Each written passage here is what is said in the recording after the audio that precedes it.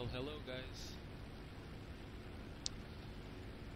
I was bored today so I decided to make a tutorial on how to use an old webcam to track your movements in-game called Free Track No IR. So this one don't need LEDs strapped to your head and that's and all that stuff that make you look like I don't know an alien in front of a computer. I mean, technology is a little bit better than that, than the use of LEDs and stuff strapped onto your head to detect your. As you can see, this one works pretty well. I can track pretty much everything inside the plane, so let's get going. Okay, so head on to the program's website that is posted near this video and grab the the latest version, the full installer version that comes pre-packed with everything you're going to need to get this to work. Okay, just grab that.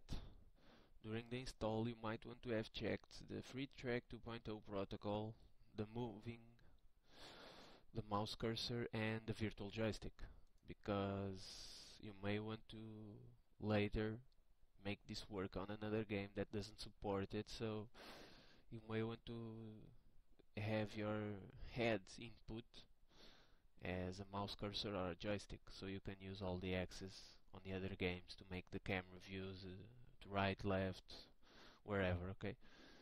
So just leave that checked. The other things I have all okay so the next thing we are going to do is we're going to grab this shortcut here track IR from the program folder. Okay just right click face track and open file location and scroll down to the bottom and make a shortcut of this to the desktop. Okay? I mean this thing was supposed to run automatically but in my case it doesn't run so probably in yours will not do the same or better we'll do the same thing as in mine will not run. So you have to run it manually. What this does is this uh, sends the, uh, the the input that the program detects from your web camera and sends to the games that are compatible with TrackIR. Okay, so open up the program and you'll check that uh, you'll view that you can make series of profiles Oh, another important thing, you must, if you have problems when you hit the start button and the camera doesn't start right away or the face recognition takes a long long time to to take place you you're you're better if you install all the camera software. Okay face recognition zooms color corrections all that crap that comes packed with your drivers. So uninstall all the software just leave the drivers. It will work much better. But in some cases you don't need it okay? Only if you are detecting problems uh, whatever. You can try it both with and without. Okay so if you have if you if you notice that you are losing some frame rates in a game you can test with the samples. The samples come much lower by default. Mine are at 10 because and it's the best I think it's the best for me. Okay? So in the War Thunder case I'm not using the zoom in zoom out function that supposedly was going to be the Z axis. I'm just using the pitch and yaw left and right up and down. Um, because the zoom in zoom out I mean it's a little bit buggy and the camera gets all all messed up in the game. So I'm just using the, those two for now. Um, the rest you can leave it by default. Um,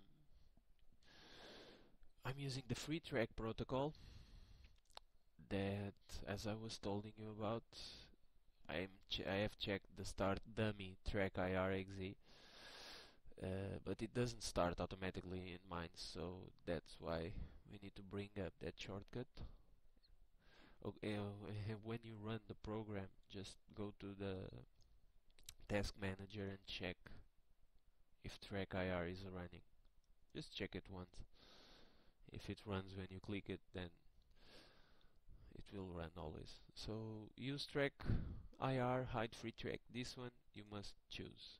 It's come default enable both, but it's better if you just choose track IR and hide free track. Okay.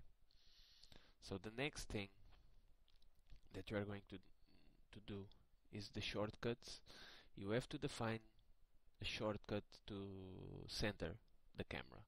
As you can see, I wiggle my ugly mug around, and that picture that's supposedly to turn when I'm turned. Okay, now it lost my tracking. You need to set up this so that in game, if something happens to the camera, you can quickly reset the camera to its, to its default position, so you don't crash or you know what I mean.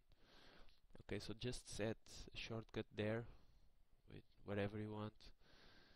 And now to the curves. Okay this thing is really important and you must set it up. Okay as you can see now that recognition has started again. My face is all or better this portrait here is all messed up so just go to the shortcut and it will reset everything to the default positions. Okay so in the curves what we are going to to do the is fine-tune this to your way of playing the game. Okay so the best thing is to leave a, a little dead zone in the beginning of the movement curves just leave a dead zone so that when you are gaming we are always have the tendency to wiggle our heads around. And you don't want the camera in game to get all messed up so just do this. And as you can see when I go up pitch up goes up. When I go down go down. When I go right and left. It's everything working. So my recommendation to you guys is open the game in window mode in a small resolution the first time pick up a test flight and start configuring things. Like when you're flying the plane and you lo look right the camera jumps too quickly to the to the rear view so it's climbing up too fast. You need to get a gentle up curve. If you don't like turning your head so much to look back you can always use the tilt function here the roll. Just activate the roll. And what the roll gives you it you can in-game use it to look back.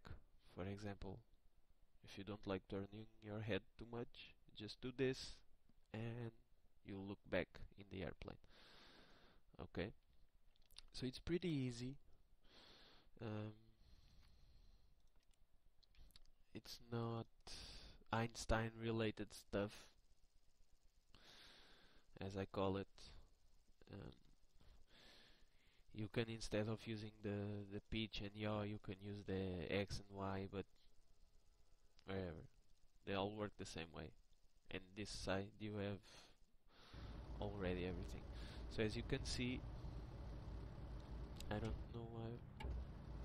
Okay. As you can see in game it's already working. And one thing that you need to do is in game you must set up the automatic where is it? Uh, let me find it okay as you can see the zoom axis here in the game it's this supposedly the Z in the program. I have it not assigned so this was supposed to for when you aim you do this and when you're not aiming you do this. But it's I don't know. It's not that smooth and I don't like it because of that. So well I can't seem to find it. But when you are setting up the controls um, there is a question that this makes you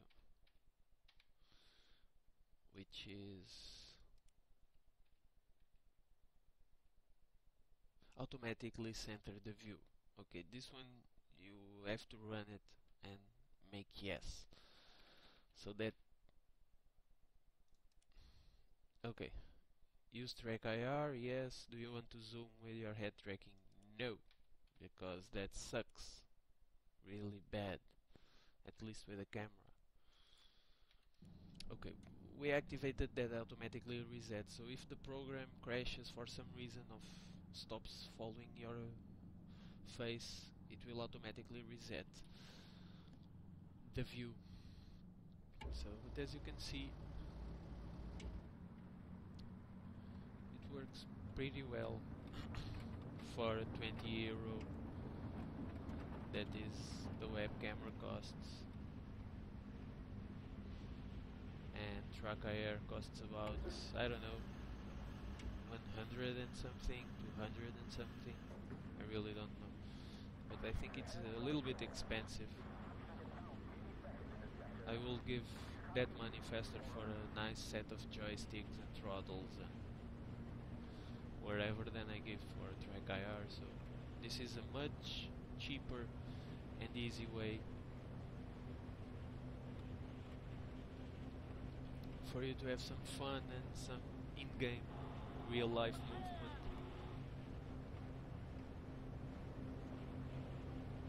So if you have any questions or any problems just post it below on the comment section. I will try to help you out if you need something. There are some webcams that have better support than the others. You can check the program's websites for that related stuff. Webcam support. I think the guys have forums too. So you can also find pretty decent amount of information to help you there. And hope you guys manage to put this thing to work and have fun with it. I mean, I'm having. okay, so bye.